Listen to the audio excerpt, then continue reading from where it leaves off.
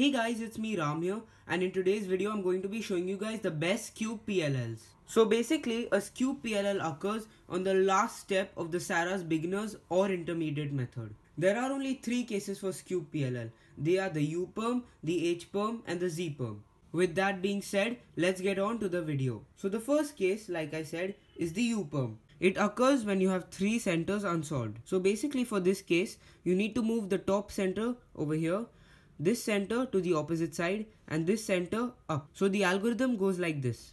R prime, L, R, L prime which is basically a sledgehammer. Then you rotate twice. Then you do R prime, L, R, L prime. And here's how the alg looks fast.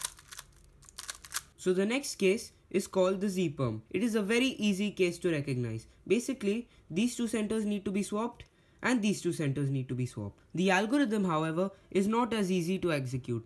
It goes like this. R, L prime, U prime, L, U, L, R, L prime, R. And here's how it goes faster.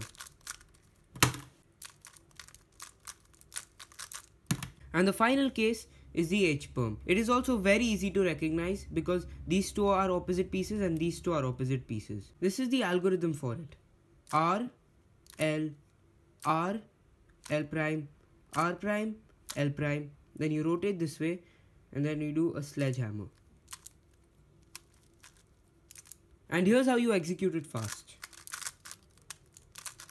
Another way to execute this alg is like this.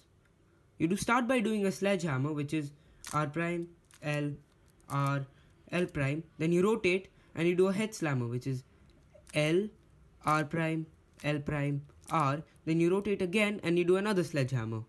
R prime, L, R, L prime. I do prefer the first alg but this can be executed fast too. Here's how. So that's about it for my video on the best Skewb PLLs. Thanks a lot for watching. I hope you enjoyed and bye.